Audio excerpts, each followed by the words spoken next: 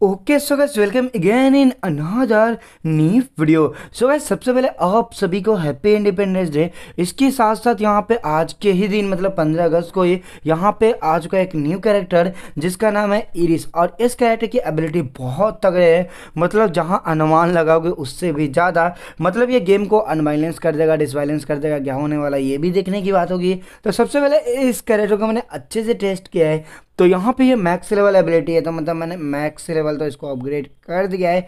अब देखते हैं यहाँ पे क्या कुछ करता है ये कैरेक्टर तो सबसे पहले टेस्ट हमने कई तरह से किया है और मैं आपको एक चीज़ बता दूँ कुछ भी बहुत तगड़ा एबिलिटी होने वाला है, लेकिन देखते हैं क्या इसके एडवांटेज है डिसएडवांटेज है। सब कुछ है ऐसी कैरेक्टर के अंदर इस वीडियो में पता चल जाएगा आपको। देखो यहाँ पे सबसे पहले ये जो कैरेक्टर है, ये एक टॉप इवेंट में आया है। तो आपको यह टॉप अप करना चाहिए, इस कैरेक्टर के लिए नहीं करना चाहिए, वो भी मैं आपको बता दूँगा। तो सबसे पहले चलो यहाँ पे आप लोग क्या करने वाले सबसे पहले चलो गेम में डायरेक्ट एंट्री लेते हैं। फिर देखते हैं इस कैरेक्टर की एबिलिटी क्या है।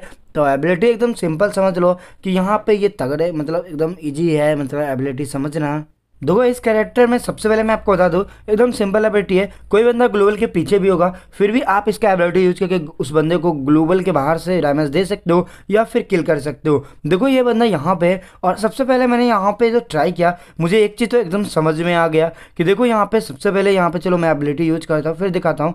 तो एबिलिटी यूज़ किया किया, उसका बाद उस साइड है, फिर भी यहाँ पे जो होता है मतलब बंदे में एम लगाना थोड़ा मुश्किल होता है बट बंदे का एम भी शो होता है, जो कि एक प्लस पॉइंट इस कैरेक्टर का तो यहाँ पे देखना होता ये कि यहाँ पे देखो मैंने एबिलिटी यूज़ किया और बंदा इधर है और यहाँ पे मुझे पता है एम किधर है। मैंने एम बैठाया और बंदे किल तो यहाँ पे ये एडवांटेज है बट इस कैरेक्टर के डिसएडवांटेज है एक स्पेसिफिक रेंज ऐसा नहीं किया भाई, आप मतलब पिक पे हो, इन क्लॉक टावर के बंदे को ग्लोबल से उड़ा रहे हो तो ऐसा कुछ भी नहीं है। तो ये भी एक अलग है। ए डब्ल्यू में भाई तगड़े वर्क किए मैंने, पहले बता दो, क्योंकि यहाँ पे एम भी हो रहा था। इसके अलावा यहाँ पे एक चीज़ और जान लो, इस कैरेक्टर के डिसएडवांटेज डिसएडवांटेज भी है, ठीक है। रीज़न ये है कि इसका एक स्पेसिफिक कैरेक्टर है मतलब स्पेसिफिक मतलब एक स्पेसिंग बदल जाए तो रेंज इसके अलावा यहाँ पे ग्लोबल की बात करोगे तीन पाँच पाँच पाँच ग्लोबल पे वर्क करता है। जब आप इसको अपग्रेड करोगे तो ये एडवांटेज है। लेकिन यहाँ पे एक चीज़ और सुन लो। जब आप बंदे से फ़ाइल ले रहे अपनी एबिलिटी यूज़ करोगे तो हो सकता है बंदे का डैमेज पड़े या फिर यहाँ पे वर्क करेगा, जहाँ पे बंदा ग्लोबल लगा के बैठा हुआ है, तब जाकर वर्क करने वाला है।